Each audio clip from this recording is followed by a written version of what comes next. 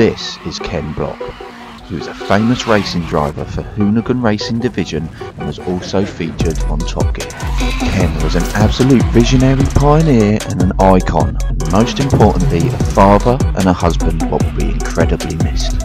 On the 2nd of January 2023 at approximately 2pm the 911 call was received reporting a snowmobile accident in the Mill Hollow area. 911, what's your emergency? At just the age of 55 out of Park City, Utah, Ken was riding a snowmobile on a steep slope when the snowmobile upended and sadly landed on top of him. Mr. Block was pronounced dead at the scene from injuries sustained from the accident and although he was riding with a group of people, he was alone when the accident occurred. Don't forget to show your respect to Ken and his family by liking and subscribing on the video.